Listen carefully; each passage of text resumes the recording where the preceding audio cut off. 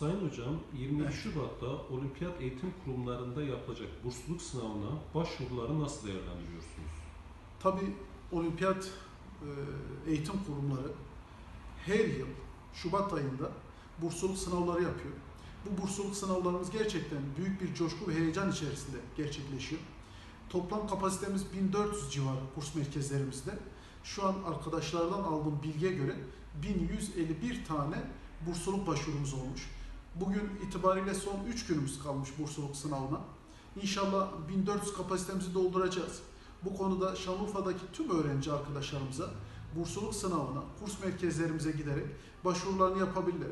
Ya da online kayıt üzerine başvuru merkezlerinde başvurularını yapabilirler.